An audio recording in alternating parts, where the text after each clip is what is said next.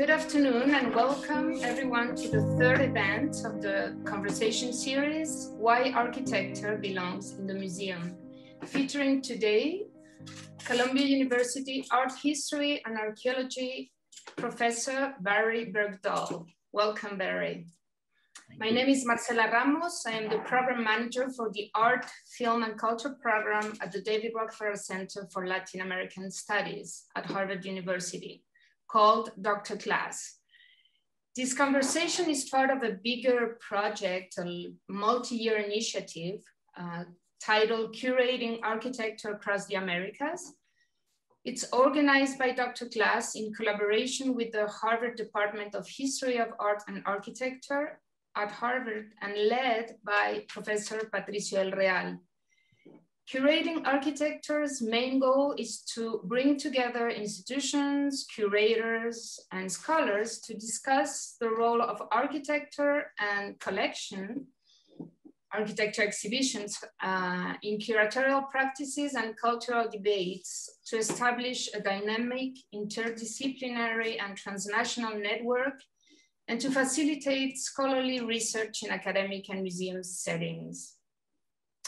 We had a first event in 2019 that gathered architecture curators, historians, and architects working in art museums and exhibition architecture galleries from Mexico and the US in the symposium Espacios de Contacto Contact Spaces, Mexico, US, you can find all that information online on our website. And we will have a third iteration of curating architecture titled Historias Ausentes, Missing Histories, that would take place in 2022, next year at Harvard, uh, to foment historical research on architecture exhibitions um, across the Americas. Uh, as I mentioned, the talk today is the third of five events for the Why Architecture Belongs in the Museum. So stay tuned for the upcoming two. On April 21st, we will have Valentina Moimas from the Centre Pompidou in Paris. And May 5th, Patricio del Real from Harvard University. Patricio, who will also be our moderator today, is Assistant Professor of History of Art and Architecture here at Harvard and works on modern architecture and its transnational connections with a focus on the Americas.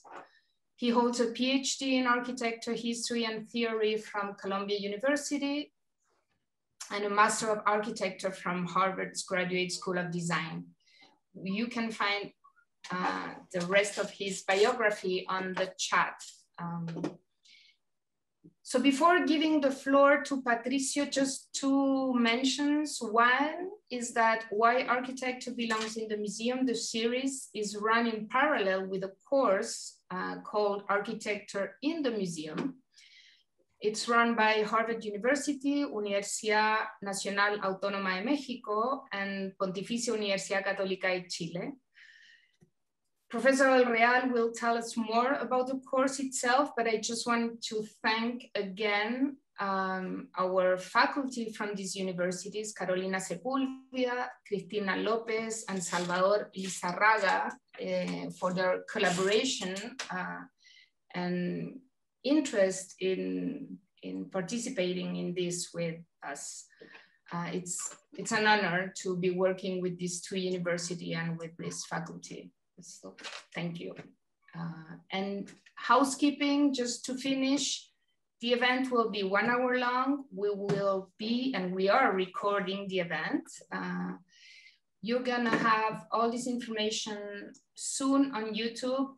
The first two talks are already there, so you can get that information on our channels and you can find on the chat also the information about all the social media and links to our events um, so you can get more information. At the end, during the talk, please submit all the questions uh, on the chat. At the bottom, you will see a Q&A bottom where you can send your questions.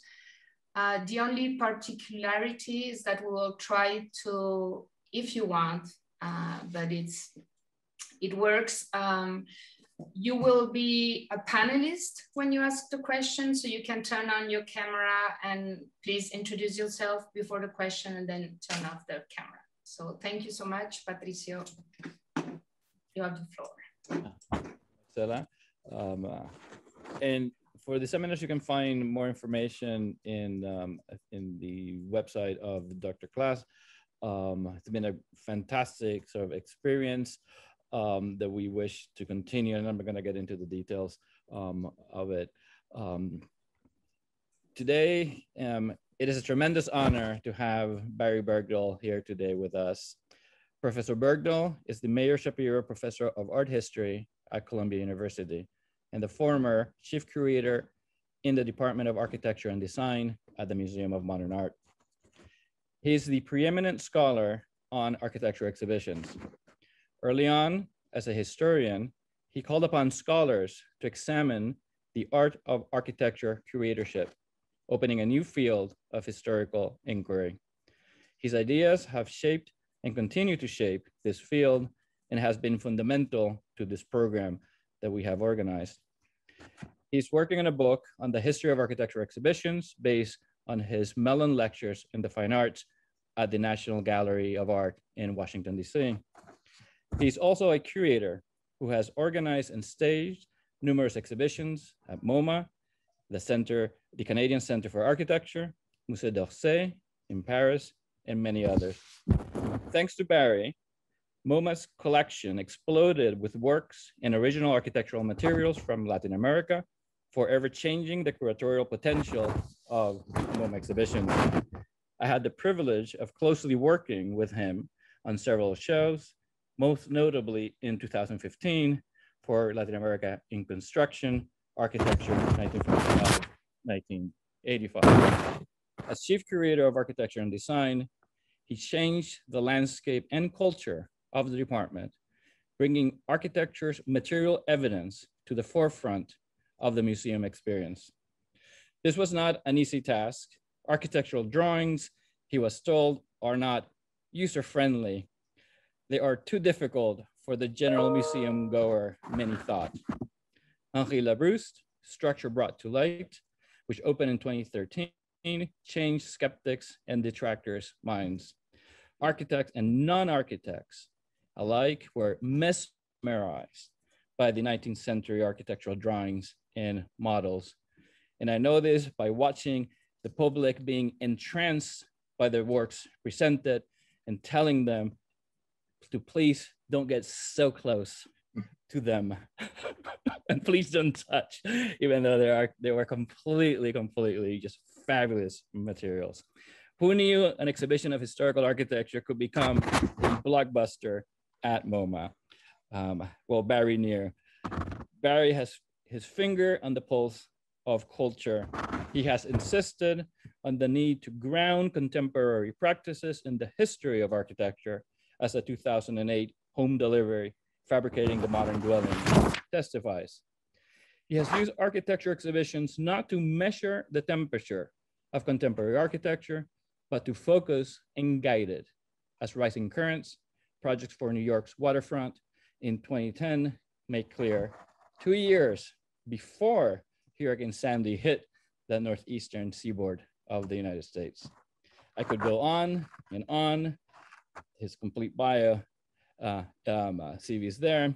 But if I may say one last thing, it is that thanks to Bar it is thanks to Barry that architecture does indeed belong in the museum, and that it does so on its own merits and values. Please join me in welcoming Professor Barry Bergdoll. Great, thank, thank you so much, Patricio. I'm glad you don't want to stop working together. We'll keep, uh, we'll keep working at this difficult uh, subject. I like the fact that the series is, uh, implies a kind of question, why? I suppose uh, I want to turn it into a sentence of why does architecture belong in the museum? Uh, so I want to look at historically with you at what I'm calling, let me bring up a shared screen immediately, since even in a Zoom format, uh, art historians can't speak without images.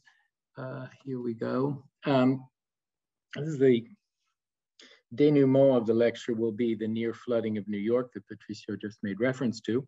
Uh, and so you can rest assured that when this image that's on the screen at the moment reappears that the end is near. Hopefully not the end of New York, but the end of this uh, today's episode of the discussion of the ongoing question of why and how does architecture belong in the museum? How to bring something as complicated as what's on screen uh, into the spaces of the gallery and how to make sure that it doesn't die there, but in fact achieves a, a new life as a catalyst and a promoter of architectural debate about the world outside. In fact, I think architecture of all media is the media in the museum that is continually negotiating uh, on either side of the wall, trying to create a crucible for discussion inside the institution of the museum in a way that the museum will continually spill outside of its walls. Perhaps not an André Malraux museum without walls, but a museum in which the passage back and forth across the wall uh, aims to, in fact, change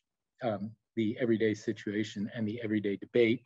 And as I hope you'll see with my discussion of the exhibition on the screen at the end, Rising Currents, that the museum has the capacity, if not to change the world, at least to change the discourse about the world. And that is at least a first step. The images that are about to appear are probably ones that might be well known to you because every uh, discussion of architecture and its history in the museum. And in fact, the history of architecture in the museum and the history of the museum are approximately of the same age. But the museum had a relatively easy birth in the decades around the time of the French Revolution, depicted here on the left in this famous painting by the French painter Hubert Robert of an imagined transformation of the Palace of the Louvre into an art museum, projected here in the 1790s, whereas architecture was going to have a great deal of difficulty entering into those walls of the museum. Hubert Robert imagined, of course, that architecture, the architecture of antiquity, the model uh, for contemporary architecture in his view and that of many others, would enter via another medium, via the medium of painting. That was, of course, a way to bring the representation of architecture inside the museum, since quite obviously buildings themselves are difficult to exhibit inside uh, other buildings, as well as, as Patricio evoked, the long-term standing issue that architecture, in order to justify a place in the museum, often wanted to assimilate itself with the other fine arts. We can discuss that in the question and answer period. I brought together some images from uh, the travels uh, around Latin America in preparation for the exhibition that Patricio uh, worked on together with me. Uh, not that I'm going to speak about that, but I found these things along the way. Always trying to answer the question, how can you exhibit architecture? Now, of course, one way to call attention to architecture in the real world would simply be take the apparatus of the museum outdoors, such as here, one of the largest museum display cases ever constructed around the uh, house of the famous 19th century Argentinian President Sarmiento in the Tigre district of Buenos Aires. So we can take the museum outside, uh, or we could simply take the apparatus of the labels, of texts, of ways of calling attention to things, such as the whole series of texts that accompanies one on the visit here to one of the final works, indeed posthumous, of the great Colombian architect Rogelio Salmona. This is the Centro Cultural de Moravia, which is a district in a rather poor district in uh, Medellin that was completed in the um, 1980s. And as you can see, as you move through uh, here, there's little confidence that people can encounter architecture without some uh, explanation. So we find the whole apparatus of a museum display of an exhibition on the building itself. So rather than bring the building into the museum, we'll bring the building, the museum outside. Here, mirrors of water. Uh, here, explaining to us that ramps are made in order to enjoy or savor uh, time. You can see people didn't quite get it. They're stopping to take photographs. They're meant to keep moving and having a time-based experience. Um, as Patricio evoked, I am currently working on and have been for some time a uh, historical account, thematic, of the difficult history of trying to bring architecture into the museum, either in the case of individual instances of exhibitions or even with the creation of departments of architecture, the Museum of Modern Arts being the oldest and longest lived, having been founded in 1932. this is a photograph which accompanied the Mellon lectures, and perhaps it will end up being the cover of the book, I don't know, the title of which is already displayed here, Out of Sight, it's important to see it, Out of Sight in Plain View, the history of exhibiting architecture since 1750. The image here is from 1955, and it shows the Japanese house in the garden at the Museum of Modern Art, or more accurately, adjacent to the outdoor sculpture garden on 54th Street. So here, in fact, the architecture almost got into the museum. It got to the very edge of the precinct of the Museum of Modern Art with a full-scale one-to-one uh, building, a replica of a 17th century uh, Japanese temple, here displayed as a, uh, a model of um, a house. It turned out to be, paradoxically, one of the most uh, loved and visited of all Museum of Modern Art exhibitions on architecture in the entire 20th century, although one could argue whether in fact it was an exhibition in the sense that we think of it as a gallery-based um, means of display, or for that matter, if it was displaying modern architecture, but that's not really my subject today. Here's a photograph I took on the morning of my first day at work at the Museum of Modern Art in 2007. Uh, and as you can see, the museum was already beginning to uh, crowd up. This is nothing compared to what was an average day during the more than a decade that I spent working at the Department of Architecture and Design, uh, although might shock us now in a world of social distancing. This is really a mild moment in MoMA attendance in recent years when the museum has become a very, very crowded precinct.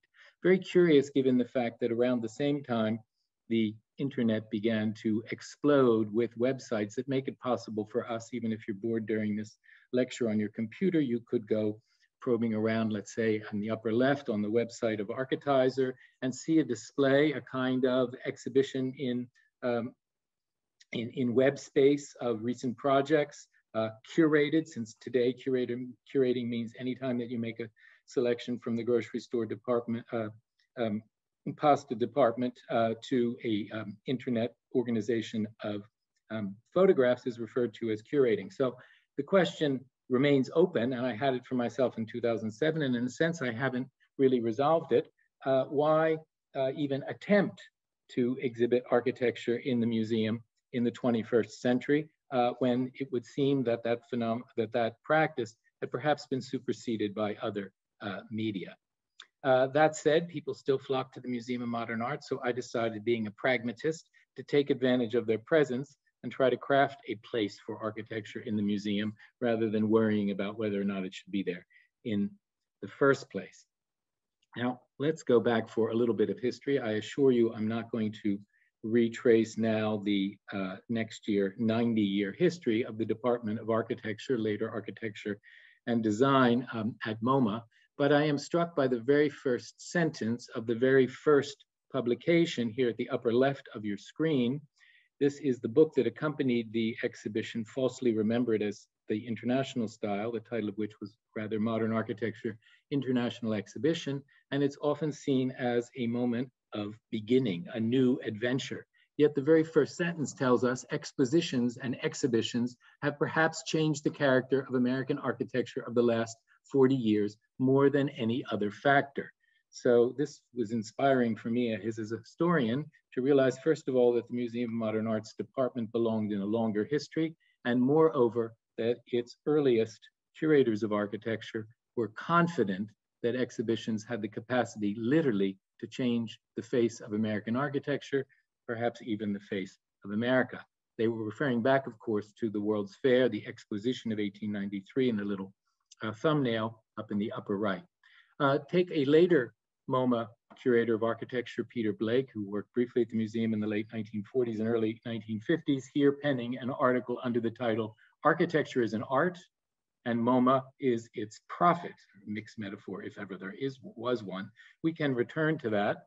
I'm interested in one aspect, which I announced in my title slide, and I want to make a case for today, which is not simply bringing architecture into the gallery, but using its presence in the gallery to have an activist relationship to both the practice of architecture and to the public engagement with architecture with the hopes that they will take the thoughts, the discussions, that they have in the exhibition to the outside world and continue them outside the world of the, the space of the gallery.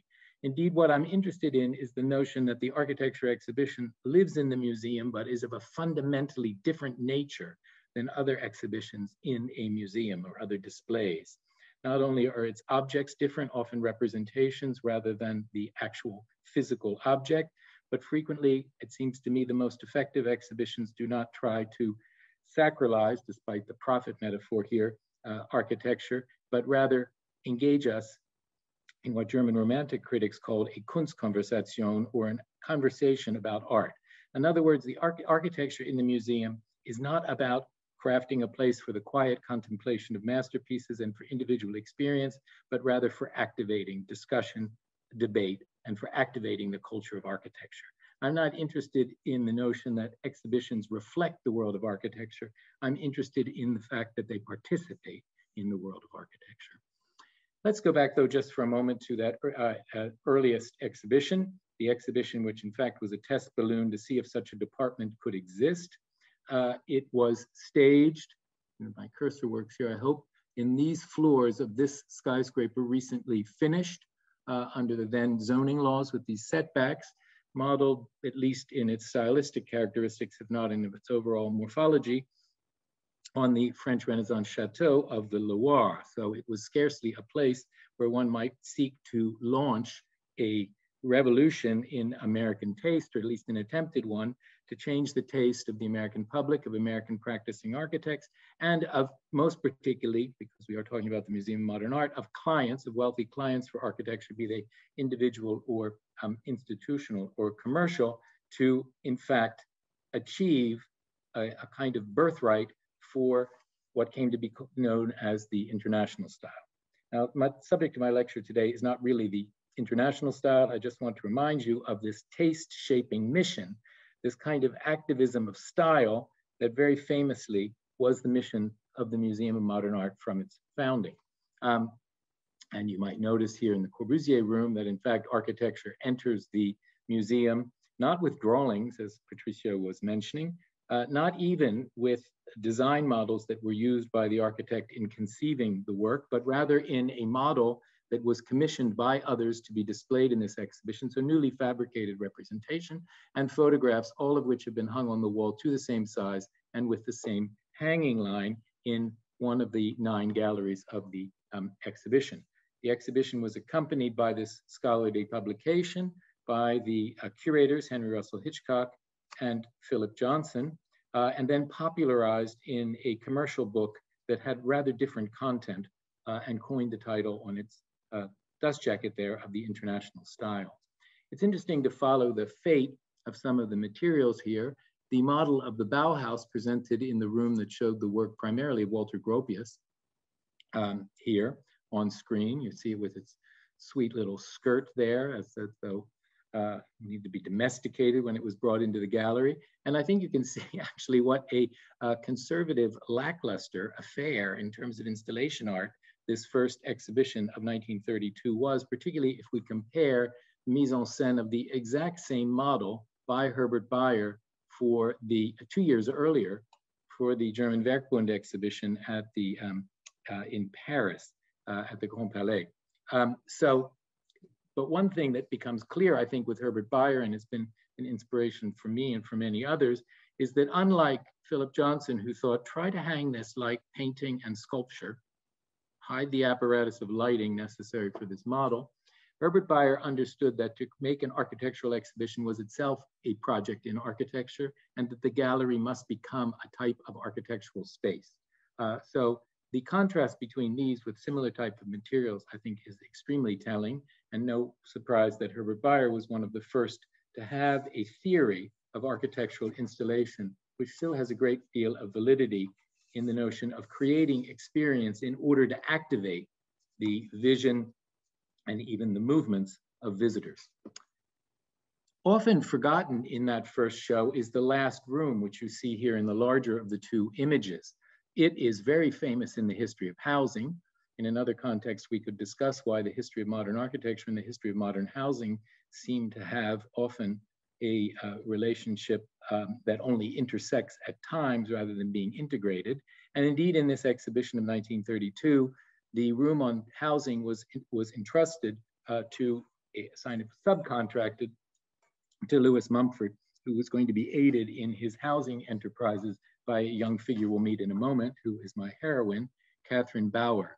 This room for me is the birth of what I want to talk to you about in my short time this afternoon, and that is the museum as activist. Because although the photographs here on the wall are of the exact same size and the exact same disposition as in, let's say, the Corbusier room in the upper left, the aim is exactly the opposite.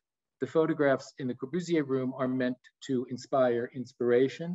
The photographs in the housing room to the right want to pr produce exactly the opposite effect. They want to disgust you, horrify you, shock you. Uh, it does raise a question whether one can bring things inside the walls of an art museum that are meant for something other than aesthetic uh, admiration. But such was the aim of this housing um, exhibition there. Uh, and here she is. You can see how young the people were who were working at the Museum uh, of uh, Modern Art at the time. In her 20s, Catherine Bauer, she was by 1934 to publish this uh, work that's still regarded, in fact, it's just come out in a reprint edition, Modern Housing, still regarded as one of the definitive works on reflecting on uh, housing, particularly in the urban situation in uh, modernity. Uh, she would also play a key role in this uh, example of a really activist exhibition, the housing exhibit of the city of New York. Now in a slightly different setting, the townhouse that the museum uh, occupied on 53rd Street, its second temporary home. But as you can see, despite the kind of neo-rococo uh, ceiling decorations here, the space has been entirely transformed by super graphics, by a kind of walk-in uh, approach to images of the city, uh, by a play on contrast between a recently uh, completed housing development in Philadelphia uh, and New York City tenements from the Lower East Side. And in fact, as we continue, here's the you enter into this building. This is the museum at that for a couple of years. Um, and at 11 West 53rd Street, still MoMA's address. And then we bifurcate. We can either go to the left into this room, which was removed from a tenement in the East 80s, East 80s at that point, one of the poorest districts in the city of New York, moved together with its furniture and to the horror of the Department of Health with its cockroaches for uh, the well-heeled visitors to the Museum of Modern Art to see how the other half lives, to borrow a phrase from the muckraking journalist Jacob Riis of a generation earlier, or see the exact same spatial dimension of a room in the um, international style uh, with uh, chrome furniture, uh, clean, uh, well lit. Uh, was this an exercise in taste, in sanitation? in any case, it was an appeal for a transformation of the consciousness about the housing situation of a teeming city. And indeed, the museum organized not only guided visits for regular visitors, but they invited city officials to see this model of a projected uh, housing for Chrystie Forsyth Street on the Lower East Side itself, and to try to advocate for its realization, this housing project, which in fact went over the existing block uh, structure. So this too we could discuss in great detail, but the key thing is this notion of the museum as a linchpin between public and public elected officials and indeed appointed officials of the administration. And many of the things that we think of today as innovations in display techniques come of age uh, early on with this history of activism, which the Museum of Modern Art was continually experimenting um, and innovating. And I would say that I think one of the fascinating things about the history of architectural exhibitions is that everyone demands a reinvention. There are no formulas to go back to. The subject matter needs always to find its architecture of its exhibition architecture, its spatial um, effectiveness. And this exhibition not only had statistics and super graphics uh, and the like, not yet able to literally show film in the space, but even evoking the filmic, uh, but most extraordinarily, in a kind of foreshadowing of the idea of relational aesthetics, the last gallery was a real estate office in which one could meet with a counselor to discuss mortgages and the financial situation in the heart of the depression of the 1930s, as visitors wanted not only to know what was happening in housing, but how it might affect them. When the museum actually built its own quarters in time for its 10th birthday, recognizing that it had indeed become an institution that was here to stay, putting its name and address on the roof in case Corbusier were able to fly by. He would know exactly where to head uh, first as this new house for modern ethos or modern ideology. Uh, one of the earliest museum designs in the history of museum architecture to involve moving through a glass revolving door into a lobby at sidewalk space, representing not by a flight of stairs a separation of the realm of art from public life, but rather the continuity of the public zone into the spaces and activities of the museum itself. And there was to be uh, uh, created a series of exhibitions which fascinate me. They would be completely subsumed by the internet today. These were exhibitions of, extreme, of extremely modest dimensions and of extremely um, short duration, sometimes a matter of only a handful of weeks, that would activate the daily press in order to pay attention to them. So the museum becoming kind of agent for press attention for getting issues into circulation outside of its own walls. These I label, although the term was never used at MoMA, as editorial exhibitions. Some of them could consist simply of a series of five or six uh, panels, and often they were related to real architectural projects that were underway in New York or even further afield. I'm only going to show you two this afternoon.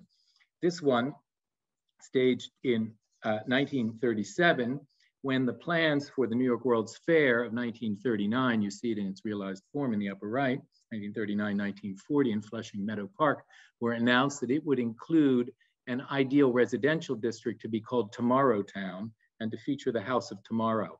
Uh, and the fear that those houses were going to look like the fashionable neo-colonial of the Tony suburbs of, say, Westchester County or nearby Long Island, rather than what the last ideal housing exhibition, 1927, the famous White City of the Weissenhof-Siedlung, directed by uh, Mies van der Rohe at Stuttgart, had looked like. Could this be an announcement of a different notion about not only the style of building, but the very nature uh, of building for American housing? So this was an attempt to try to convince the people who were undertaking the New York World's Fair as simultaneously a popular and a commercial venture. Here you see the National Cash Register um, uh, exhibition building, which included a cash register that recorded the number of visitors uh, on the cash register atop the building. Architecture parlante or architecture payante, I'm not quite sure which. Here the uh, Sealtest uh, Kraft Foods Pavilion and the, behind the theme building of the fair. But here we have the brochure that attended the uh, guide to the town of tomorrow, your guide to the Long Island Colonial Home, number 15, second from the entrance to the town of tomorrow. The editorial exhibition had failed. The most modern building was this one, modern by its incorporation of electricity rather than perhaps its neo Mount Vernon style. The Museum of Modern Art, having failed with the editorial, decided to respond with something much more spectacular. In the second season of the exhibition for 1940, they invited Frank Lloyd Wright to fill the halls of the ground floor with a display of his architecture, purposely made models by the students at Taliesin. You see Frank Lloyd Wright literally continuing to draw on the drawings as he was installing them, curator's nightmare. He had previously exhibited his idea of a new form for American urbanism in a polemical display in 1935 nearby at Rockefeller Center. So he was no foreigner to using the architectural display for attempting to propose a different way of seeing outdoor reality, of seeing even the use of land from the backyard uh, to the entire shape of urban, or for that matter, transcontinental settlement he was invited to conceive for the newly created Museum of Modern Art Sculpture Garden. Here you see it in its first iteration by the curator architect John McAndrew, photographed shortly after the building was completed and before Frank Lloyd Wright arrived in a truck with his drawings and meant to turn that sculpture garden into a construction site for here was to be erected right in the middle of this kind of sub Burle Marx uh, patterning there, uh, a model house which would have been one of the earliest of his Usonian houses. So here the museum wanted to pick up on a tradition that had been born with the idea of the World's Fairs in 1851 in London. the display of a model house for improved dwelling for, as the British would say, for the laboring classes to be displayed in a fashionable neighborhood where people who might actually affect change could think about how the other half lives. The buildings department of the city of New York was not having it. They refused to uh, give a building permit for Frank Lloyd Wright's Usonian house. You see the project for the house in the upper half of the screen here that would have therefore um, given a suburban house in the sculpture garden, the Museum of Modern Art, rather surreal encounter uh, in the summer of 1940.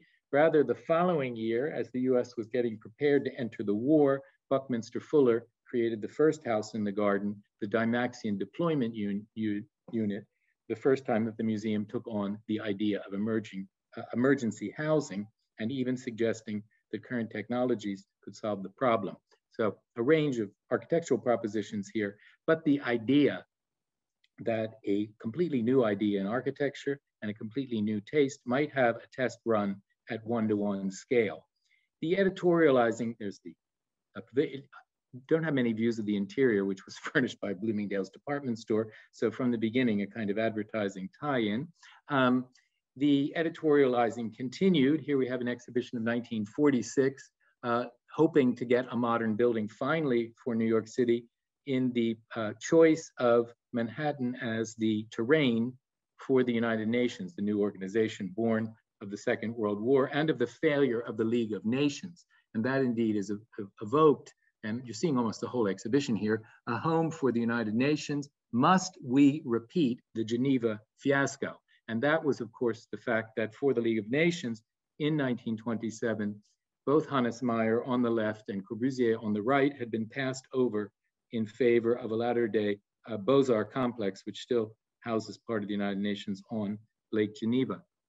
This continued after the war. Yours can be a planned community. You can help. So over and over again, these exhibitions, this one of a much larger scale, that sought to engage the public in thinking about how they wanted the world outside to be shaped, how they, as visitors to a museum, could enter into a professional discourse, how the museum could serve to break open the discussion among architects and planners and the professionally trained, the people who would be churned out of, let's say, Walter Gropius or Jose Luis Sert, uh, Graduate School of Design or Católica in Santiago, in order to engage directly with here the emerging idea of participatory community planning. The House in the Garden series came to a um, a kind of real denouement in the immediate aftermath of the Second World War, uh, when through federal subsidies, the American suburb was uh, kind of turbocharged uh, through the 1950s and 1960s. And the Museum of Modern Art decided to respond uh, to the emerging models of neocolonial uh, Levittown uh, and others by, oops, excuse me, by proposing this modern model building made of wood of cypress cladding by the architect Marcel Breuer, 1949, who installed this famous house in the garden to demonstrate that the servantless two uh, mother and father, two children, um, canonic household uh, could take modern form. This is probably also the only time that a suburban garden was displayed in the sculpture garden. So the idea too of the display of landscape and of garden art even harder than bringing architecture into the city and into the museum. This was uh, followed the following year, built on the success of the house in the garden of Marcel Breuer by Los Angeles architect Gregory Ain's, exhibition house, but now done in conjunction with Women's Home Companion. So uh, what we call in the United States, the shelter press, sort of taste-making uh, magazines thought to be uh, read largely by uh, women about lifestyle, about housing and the like, as the museum explored not only new financial partnerships, but also an ever expanding way to popularize its message. Now there's one more type of um, exhibition that I've only recently begun to work on. I'm going to talk about this next week at the Society of Architectural Historians annual meeting. So just a little preview of that.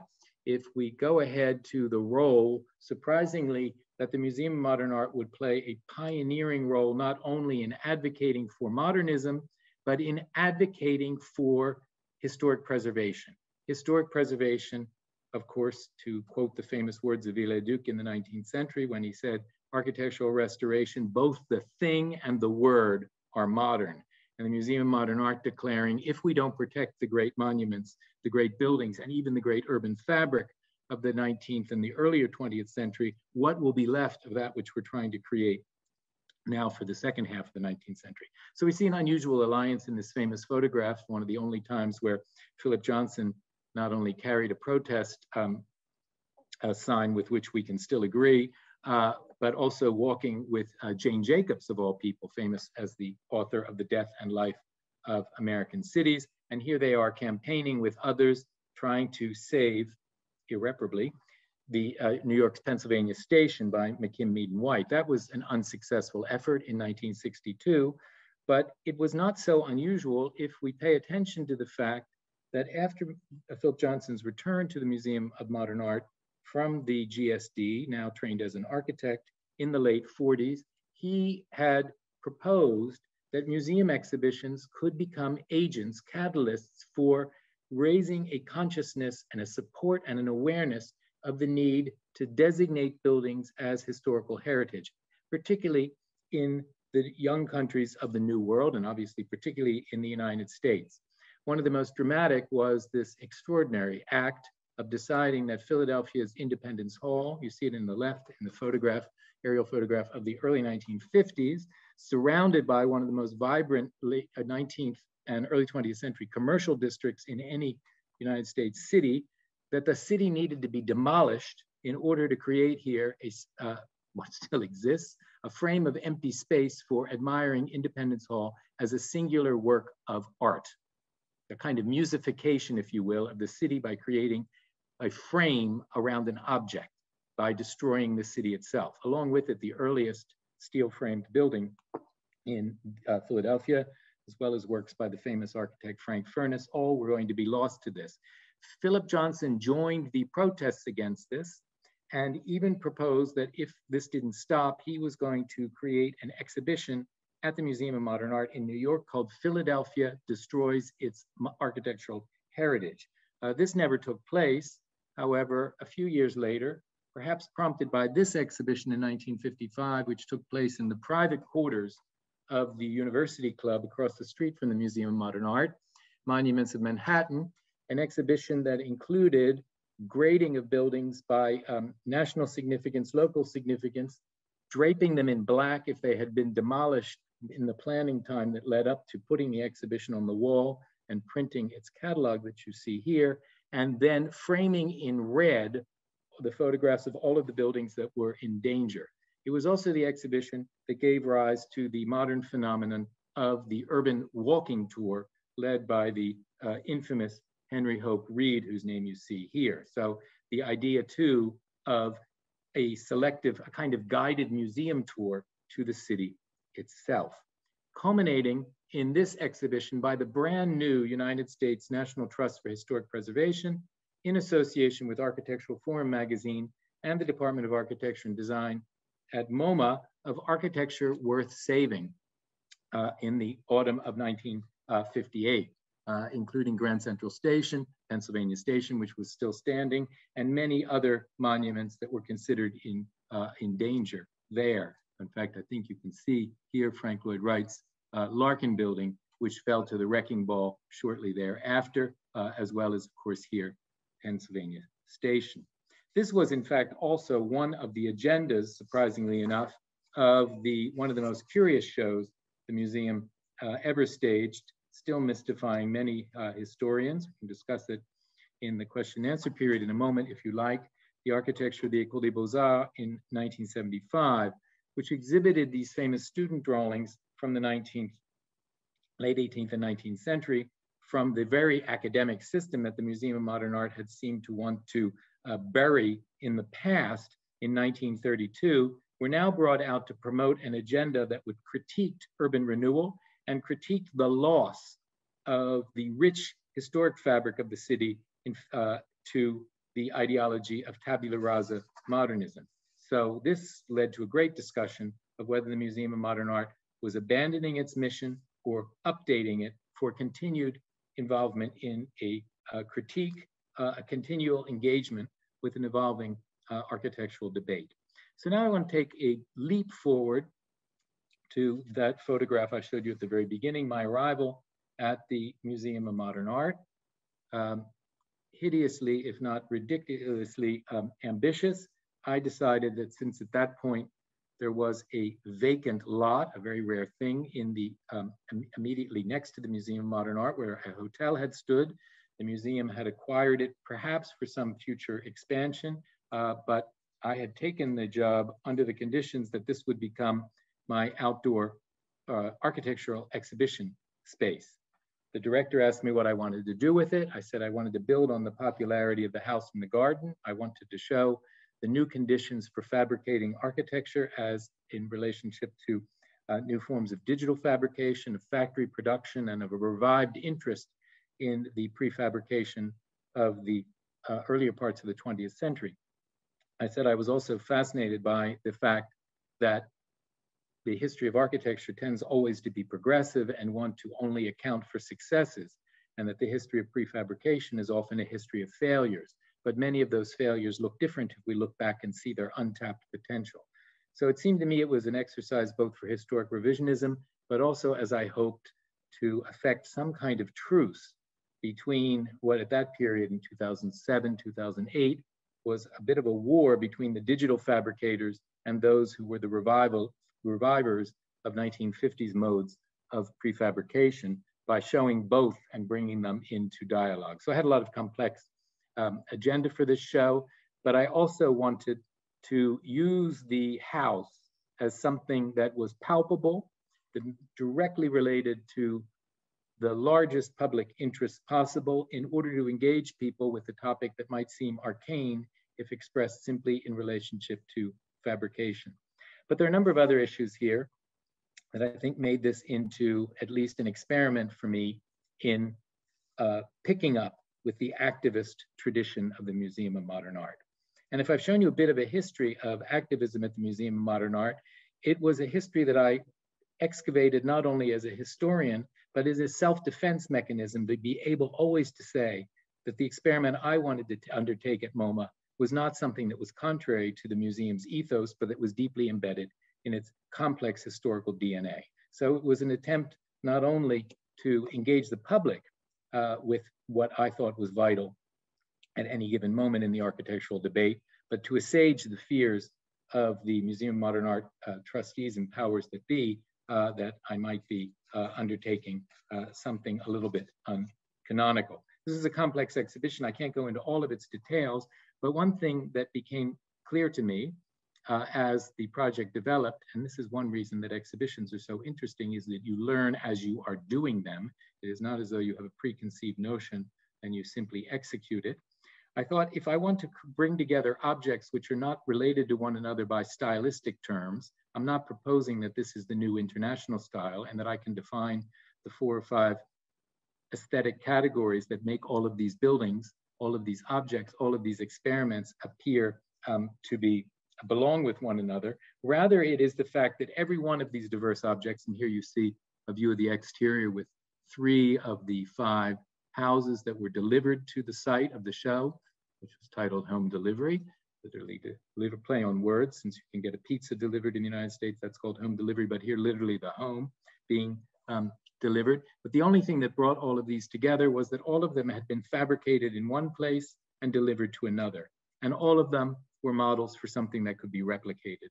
So these types of conditions interested me, but also the process of how do you think about designing something that's going to be produced in a factory under different conditions than the way many building sites still are, and something that might be replicated. What was the condition of architectural thinking, of architectural uh, uh, conception that was involved here. Indeed, how could the Museum of Modern Art put on display design thinking and not simply designs? How could we make an exhibition of the process of designing and making rather than simply placing models of things on pedestals to be admired as though they were works of art, even if they were baffling for many viewers? One other thing, while I have this one view of the interior and um, on display at the same time, I wanted to put these newly commissioned works or works that were volunteered to be delivered to the museum by current practitioners engaged in experimental practices. You see the work of Philadelphia architects Kieran Timberlake and the now deceased Anglo-German architect Richard Horden there. This was the only one that was then in production, this microcube house, and an experiment by the South Tyrol, um, sorry, Vorarlberg uh, Austrian uh, team uh, here, uh, just the corner of it. Um, I wanted to put those in a much larger sequence. I thought as an architectural historian arriving in a museum of the 20th century, myself a specialist in the 18th and 19th century, that people would be rather nervous that I would turn the museum into a place of some kind of antiquarianism. And I wanted to absolutely banish the notion that this was a, either a contemporary show or a historic show. Uh, in fact, it would be simultaneously uh, both and not exclusively um, either. It occurred to me as we started to work on this that the actual delivery of these houses, these buildings to the site was going to be an urban spectacle. That the exhibition was not something we were going to wait for the opening day and have a closing day, but the exhibition was part of a much longer process. And that we could turn the actual thinking of making these buildings, of delivering them, fabricating them, shipping them, but also of the curators working into a public spectacle, but also into public catalyst for debate and discussion. And that the exhibition space itself would be animated through films that would show you new modes of production from early car factories through all sorts of housing factories over all the objects, that in fact, it was the process of making this dynamic uh, thinking captured in film in a very, very active space, uh, quite different from an architectural, from an art exhibition that might want to allow you some quiet moments of contemplation, but rather an extremely activated space to get across the notion of fabrication and um, delivery. And finally, realizing that perhaps a site like Architizer was not the other of the architecture exhibition, but just one more tool, and that the website of the exhibition would be key. So we opened this website months before the exhibition, and each one of these little boxes that you see here like Andy Warhol. Here we had a film camera on the site, and it played with even less activity than the Empire State Building, uh, just sitting there, this empty lot, this empty lot, where each one of these six things was documenting a house that was being designed, fabricated, and shipped, only going to arrive in the last two weeks before the exhibition officially opened in this camera view there. Now, there were only five houses, so you might say, what is this, uh, six days here? Um, Monday, Tuesday, Wednesday, Thursday, Friday, each day one of the teams posted an update on where they were, some film footage, some commentary. You could follow the evolution of these houses. One of them was coming from Hamburg, one from Austria, uh, one from Philadelphia. Uh, one was going to be fabricated on site by Larry Sass as replacement housing uh, for New Orleans. And in the sixth one, Peter Christensen and I, curatorial assistant on this project, uh, posted updates on the exhibition itself as part of the project. So this was a website that was opened, the exhibition in a sense opened three months before there was anything physically on the ground, and it continued for commentary in the galleries where visitors could blog onto the site uh, and continue to be alive with new posts and invited editorials three months after the exhibition. It was this, in conclusion, that led to the project, which also Patricio mentioned at the beginning, uh, one of a series of exhibitions that I um, initiated that um, doesn't really have a name per se. We called them the Issues series, found a small donor for them. Uh, in this case, again, with support, as we'd had for home delivery from the Rockefeller Foundation, uh, for a project called Rising Currents Projects for New York's Waterfront, conceived in 2009 and opened in 2010. The entire project from start to finish took just under six months.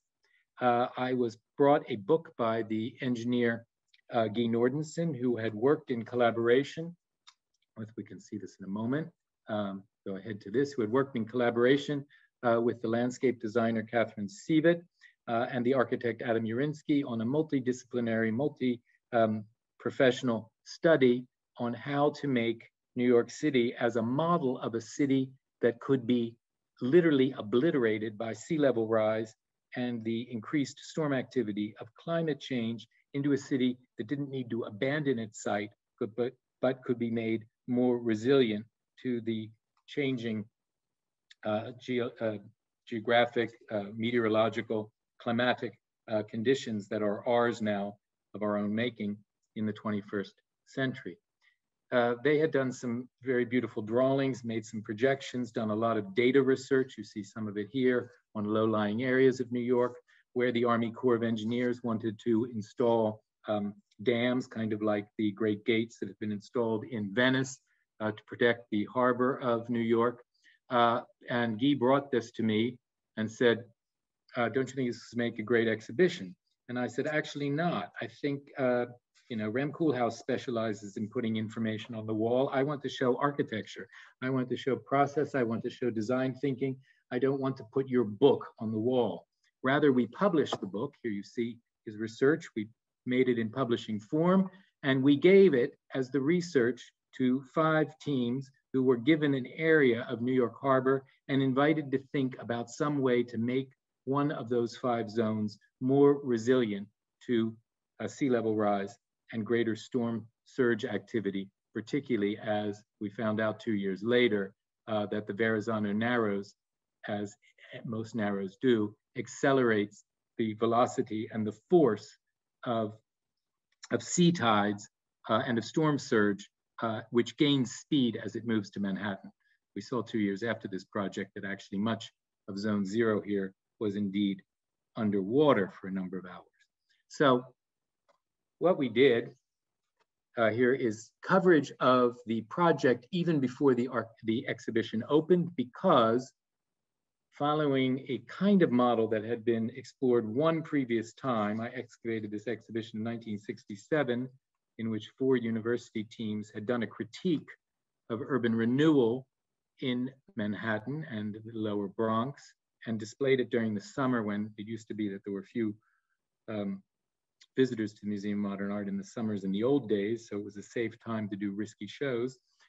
And this, they all went back to the universities and studied these projects, and then they brought the Museum of Modern Art, who displayed them for the summer in the lobby to the film theater. We rather got a prominent gallery right near some of the major paintings of the Museum of Modern Art, and moreover, we didn't allow these teams to go hide away in universities, but rather we installed them at MoMA's PS1, the Contemporary Art Center in nearby Queens, on the other side of the floodable East River.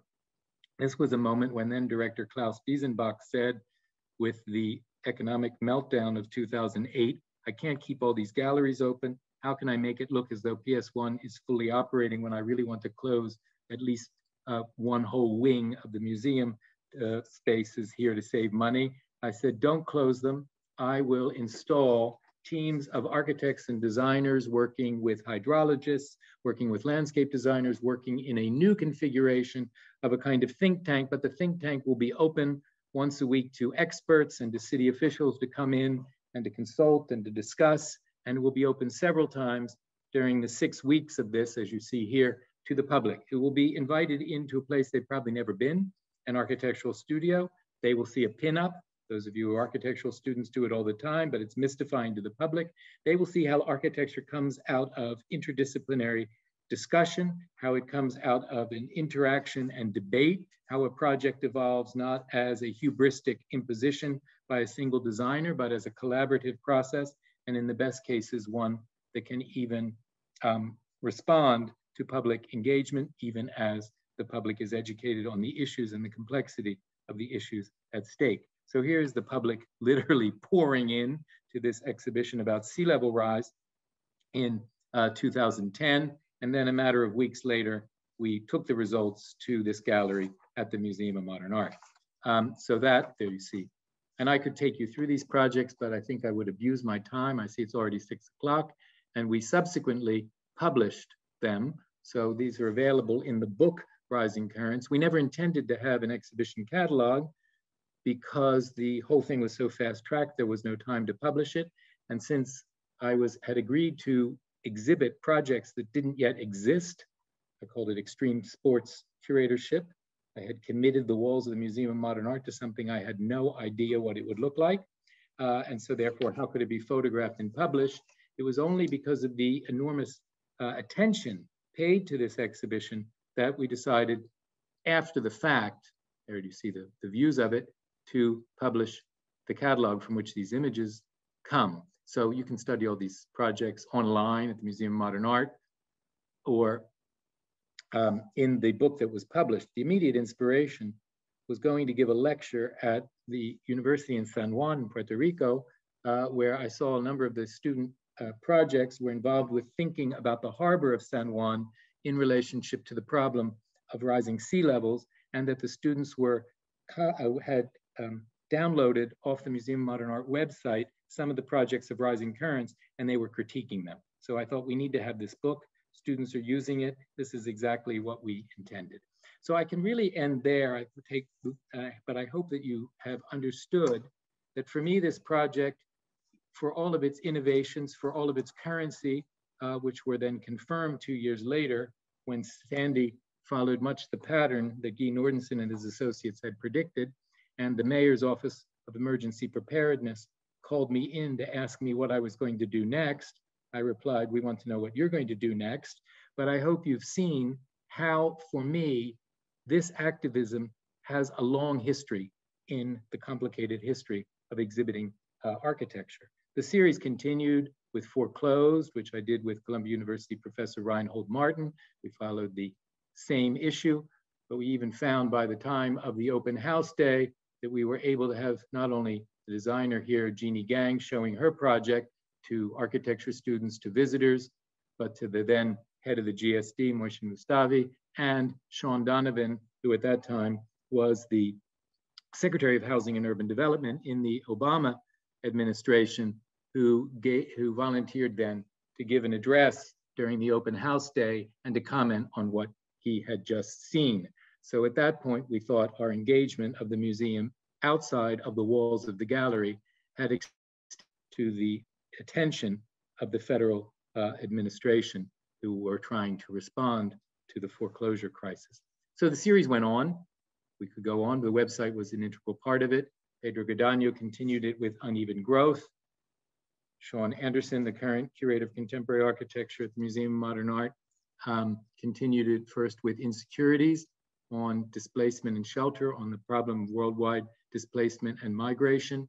Here you can see, and in the current show, which just opened called Reconstructions, Architecture and Blackness in America. So if I left anything behind at the Museum of Modern Art, in addition to that absolutely tidal wave of exquisite and important Latin American architectural materials, I hope it was a reactivation of the possibilities of activism in and outside the museum walls.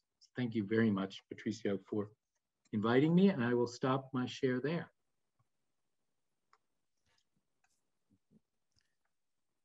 Fantastic. Thank you, Barry. Many questions, many thoughts, many provocations. I'm sure we have many questions from our students um, that cross the Americas. Um, but I want to, so that they start warming up, I want to ask you, so this fascinating history, alternative history of activism um, at the museum. I want to question if you can follow up on the notion of the museum's international activism. Um, although located in New York, it's a very um, important um, cultural um, institution in New York, as you, as you know, as you have really uh, focused the presentation. Um, the museum also played a quite an active role uh, in, in, in, its international projection of the museum itself, but also in collaboration to, with um, different US government institutions. So you find parallels, contradictions, or paradoxes within this um, notion of an, of, a, of an engaged uh, architecture department um, to change and open architecture culture in New York, in the United States. Um, what is the relationship with the world at large? Um, well, that's a very loaded question, Patricio, because it's the subject uh, of your forthcoming book and your mm-hmm. doctoral dissertation and many, many discussions that we had as we um, both continued heroically and with great anxiety about where we fit into the Cold War history of the Museum of Modern Art's engagement with, uh, with Latin America. And although the Cold War is over, uh, it's not really over, just has taken new forms. Um, so, but it's often, I think, uh, not as easy to see what might be the, um, how can I say, what might be complicit um, agendas, particularly in a, uh, you know, in the neoliberal world in which we live. Mm.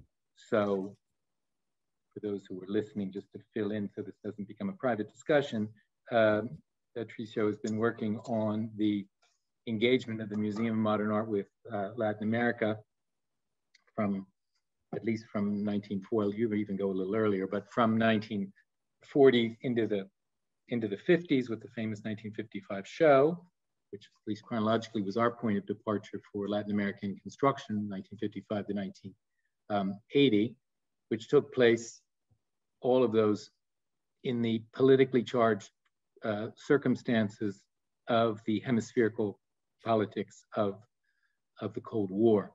Um, and that is, so there are always multiple layers, kind of like an onion, uh, mm. as one peels away uh, the different perceptions and intent and the rise of the notion that even an architectural exhibition, generally thought to be the least influential thing that you can possibly undertake, um, begins to play a role in the complex cultural politics um, of the period, particularly uh, wooing the um, wooing friendships and you know creating what we know of as a kind of rare exercise of the United States in soft power, um, mm -hmm. soft cultural power. Um, I don't know if your future book is going to do this, but what what is the shift of paradigm once we get into the neoliberal world once we don't have the immediate direct relationship between certain figures in the cultural world of the Museum of Modern Art very closely tied always, but particularly in the 40s and 50s to the founding Rockefeller family and their oil interests and their political interests. Um, what is it now uh, when there is a different, um, should I say, there are different financial interests, less clear alliances, between finance capital and uh, and political power. They're there, but mm. they're much harder to perceive, and uh, I'm not sure that they can. You know, I'm not sure that they can play out with some of the um, incredible directness of several mm. generations ago. So I don't know if that answers your question or not. Yeah, absolutely. So, and, and also, I, mean, I think there are there are many many forms that this activism can take. If if the if the activism if you want to limit the activism to change in being an opinion influencer. Mm. And that is from the very beginning, whether it's simply aesthetic taste or whether by implication it's political alliances with architecture, but even art exhibitions have played a very important role in diplomatic histories of the 19th and 20th century. Um, you know, that's maybe on a spectrum of activisms, that is, that is one place. I was a little bit more focusing on those exhibitions that engaged the actual interests of designers outside the museum walls and inside the museum walls and how that how that functioned. Mm-hmm. So mm-hmm.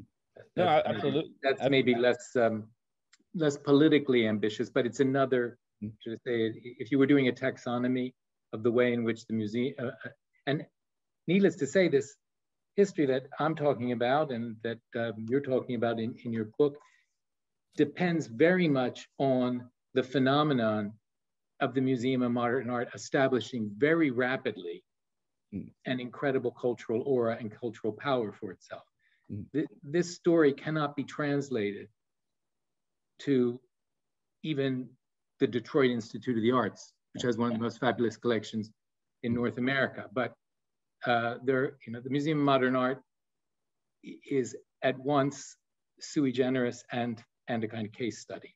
Mm -hmm. Absolutely, and, and also what what thing what differentiates right our contemporary um, 21st century moment is the the plurality of cultural centers producing message and attempting to be uh, sort of activists within the field. So I, so um, um, the Museum of Modern Art, as you have clearly presented in the, archi- in the architecture museum and your practice within it have carved a very clear and very um, uh, rich articulation of what that activism should be.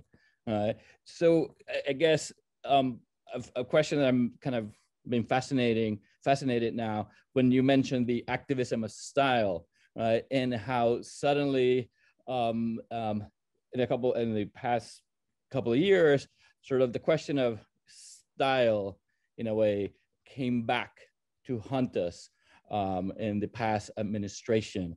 Um, and, and so I was fascinated when you sort of juxtapose this, uh, possi the possible, uh, the possibility of juxtaposing two um, uh, curatorial projects. One is the activism of style, right, or the dictatorship of style, as Philip Johnson very famously said it, right, and then um, uh, the other activism that also happens, as you have uh, eloquently sort of unraveled at MoMA, in, in, the, in sort of those battles.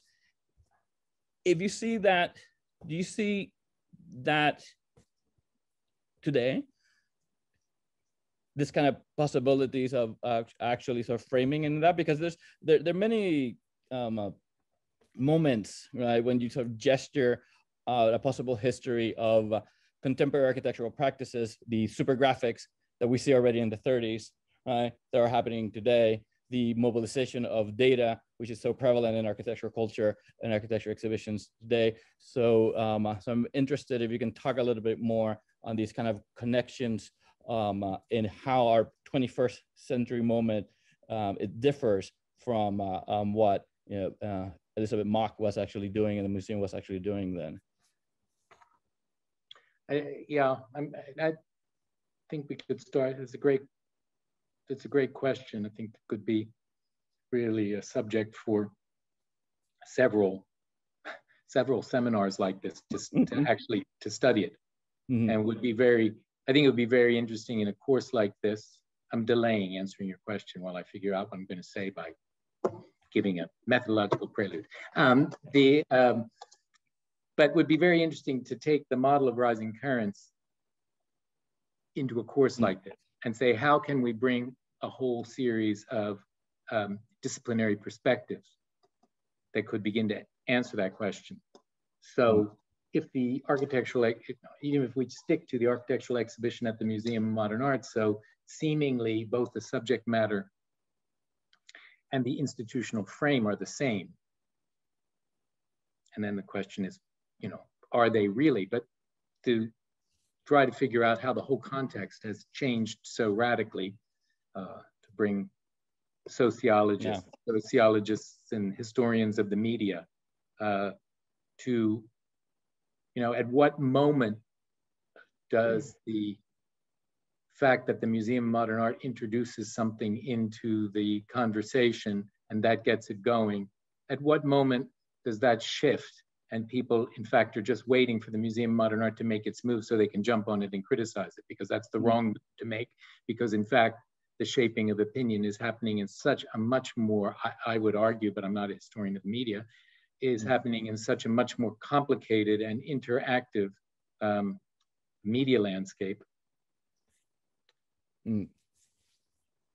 that, that I'm answering your question by yeah. saying this, that would be the question, but I yeah. don't have the I don't oh, have the answer to it. I do I do think things have you know I think that things have changed radically. On the other hand, there are certain continuities. I told the related the anecdote of being called to the mayor's office of emergency preparedness, which for me was a, a stunning and unexpected replay of some of Catherine Bauer and Lewis Mumford's relationships to the framing of both the New York City Department of Housing and to federal legislation on housing. So, um, you know, that's been debated what is cause and effect there, but um, that was a very stunning moment for me to go into that room. I thought they were just inviting me to the meeting because they thought I was interested in the topic and I'd like to hear what they said. And I was late, as one used to be in the world before Zoom. And um, I walked into the room, they were all there waiting for me to arrive to start the meeting. Mm. Uh, when you're thinking, I was lucky to get here because the subway was flooded a couple of weeks ago. Um, and they said, What are you going to do next? And I said, I'm an art historian. I, I want, you know, we all want to know what you are going to do next. I am not a specialist in climate change. All I have done is figured out a way to exploit the museum's capacity. So here I'm a little bit eroding what I just said, to exploit the museum's capacity to redraw the contours of the possible debate. Mm. So that I think is what you still can do. You can have some effect on what are the contours of the debate, but the debate is already mm. there. No. We have a question from Javiera, Javiera Rodriguez. Oh, okay. She, can you ask it, Javiera? Marcela, they, if not, I guess we can read it. Um, uh, thanks a lot, Barry. I find I find it interesting how, as a result of the pandemic, many museums have closed and have faced the problem of, oh, there you are. Javiera, please ask Hi. your question. um, okay, I'm gonna read it because I speak Spanish. I'm sorry, but first, thanks, Barry. Um, I find it interesting how, as a result of the pandemic, many museums have closed and have faced the problem of how to exhibit without having the work of art physically. And it seemed that the virtual version of the museum space and its virtual tour is not enough. However, this problem is something that architecture exhibitions have always been trying to solve. So I would like to think that architect, how do you think that architecture can join this debate? Uh, what can be the new role of the museum now? And if under this is scenario, the museum should be adapted to its virtual version? And if so, how? Mm-hmm. Well, it's a great question because I think many, many people think that when this pandemic is over, first of all, it's probably never going to be over, um, that, uh, that everything is going to return to normal. I think uh, we're in that proverbial river that you can't step into twice. Um, the, there's going to be some kind of new uh, provisional normal, and I think that is the, your question is the question that every museum director and every museum curator in the world is trying to figure out. So on the one hand, the fact that there is very little what Walter Benjamin would call the aura of the original uh, when it comes to architecture means that architecture perhaps is the, has the least impact uh, from the need to move the materials of the exhibition online. And course, I didn't show you any um, film footage, but I've always been interested in the architectural exhibition as a place that has a role for film and interactive things. So not everything is a static uh, object. So the internet lends itself very much uh, to certain aspects, uh, at least of what I've been interested in doing. The thing that falls out is not so much what you can present, it is two things about the architectural exhibition that I think are important, and maybe I didn't reflect enough on them with the consequences of having shown you the photograph of the Museum of Modern Art on the first morning I worked there, which is that the exhibition is an event. It happens from day, day A to date B, and so that already focuses our attention in a very concentrated way. And we attend the event with a um, a very keen awareness of the presence of other people who we don't know. And so the being surrounded by people we don't know, I think is a very different notion of being in the public than being on the internet and seeing, not in maybe in Zoom, at least we see other people's faces, but uh, seeing the presence of other people's opinions. That is not, that's not the same thing. So that again, that I don't. Th- we're in the middle of this. What uh, what that's what that's going to look like, I do feel, and I'm not the only one who feels this way because I read editorial things that reinforce this. I do feel that our world is, was already before the polemic very polarized. And I think that the pandemic and our dependence on the internet actually accentuates that polarization. So um, if an exhibition could, as a physical space, be some sort of a place where different points of view could be heard and processed and responded to rather than shrilly rejected, uh, I'm, you know, I'm just, I'm just uh, reflecting out loud on your extremely interesting question. Thank, Thank you. you. Uh, thank you, Javiera. Uh, David, David Sadighian, it's a question. Thank you, David. Um, well, first I want to say, um, can you hear me? Okay, yes. Uh, thank you, uh, Barry, for such a fantastic talk. Um, I'm going to um, I'm going to take you up on your offer to discuss the Arthur Drexler um, Beaux-Arts exhibition. Um, with regard to the subject of activism, I'm curious to know how you conceive of that exhibition's political legacy um, for you as a scholar of 19th century architecture, because it's so often described in disciplinary terms uh, with regard to the, the, sort of impact that the large scale Prix de Rome drawings had on uh, sort of disciplinary practices of architectural drawing and postmodernism. And then of course, the, um, the, the, legacy that the very scholarly essays in the catalog had on the discipline of architectural history. Um, so can one speak of a sort of political activist ambition behind that exhibition um, with regard to preservationist policy or perhaps the politics of civic architecture um, and then maybe how you sort of approached or intervened that legacy in your work on Labrouste at, at MoMA. Mm-hmm. Um, so I, going to start with the anecdotal. I'm really glad that you used the word, I think, ambitions that the show had, because it was a show with enormous ambitions. Um, I was invited a couple of years ago to the lectures, the annual lecture series that's given by the Institute of Fine Arts at New York University, and the, which is student run. And every year the students pick a theme for the year and then they ask the speakers if they would like to, they don't have to, but if they would like to um, conjugate, let's say, the verb in relationship to that theme.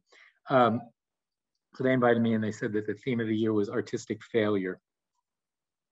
So I said, okay, great. I am going to give a lecture on when is an exhibition a failure. And my ch chief example was Drexler's show.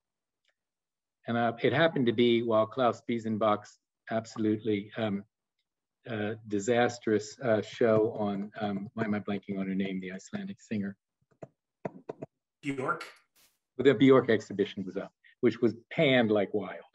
Um, it was also up while, I think it was while the show was up, I can't remember. Anyway, um, the uh, Bjork exhibition was up and so I started by saying, showing photographs of it and I said, by failure, I don't mean when is an exhibition bad By what interests me in terms of failure is when an exhibition has enormous ambitions and the fallout, the results of the exhibition are not only quite different because exhibitions are by nature unpredictable what's going to happen from them, but in some ways are totally contrary to the intention.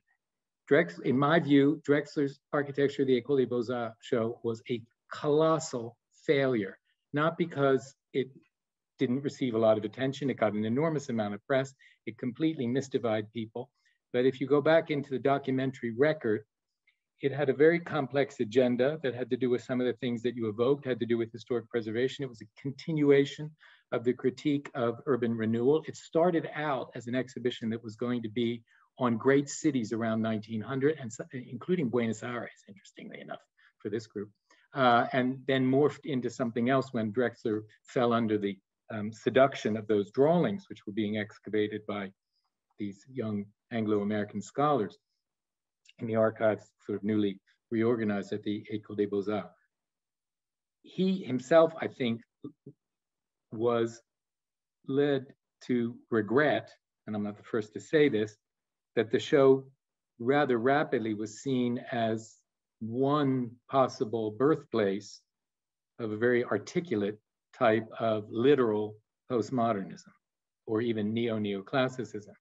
Henry Hope Reed, whose name appeared on the screen at one point, was overjoyed by the show, as was John Barrington Bayley, uh, the author of that absolutely hideous extension to the Frick collection. So the, you know, the it, it, was so it was in in his terms it was a flop, even though it was a huge uh, success.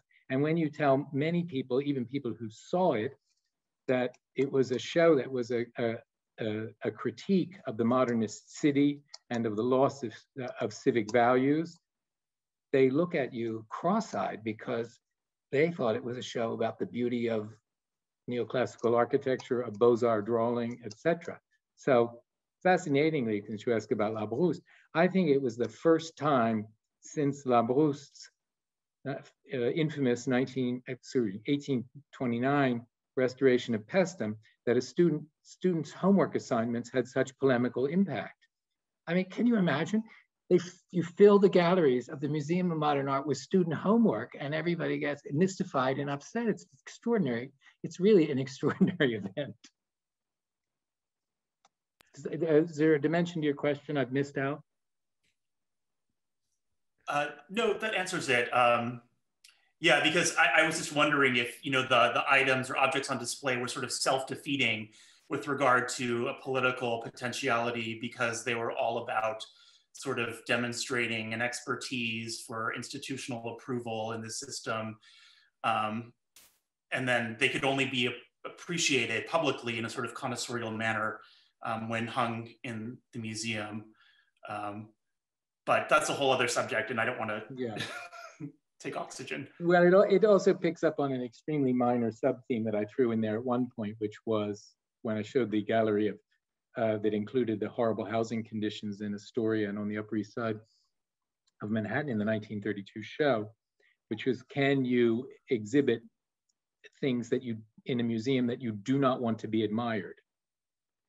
So is the invention in the 18th century of the art museum inevitably, even today, a temple of art and the default position, you know, like you walk into well, nobody goes into a bank anymore, but when you would walk into a bank, you would never say out loud the balance of your bank account. Everybody knows that. It's just verboten. It's just, and you also don't speak loudly in a bank. It's like a coded behavior. You walk into a museum, you're in the code that you're in a place to admire, that what you are being shown is to be admired.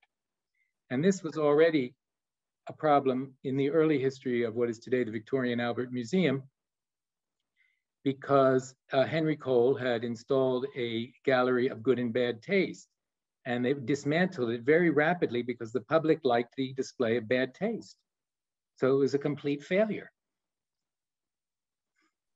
Excellent. Thank, Thank you very so much. Marcela, Marcela tells me that we need we need to cut. on, on, camera, just uh, yeah, I'm the bad cop here. Yes, the bad thank cup. you so much, Barry, and and thank you, David Javiera, for the questions, and Patricio, of course. Um, we see you all thank on you. April 21st for the fourth event of the series, and thank you again, Barry.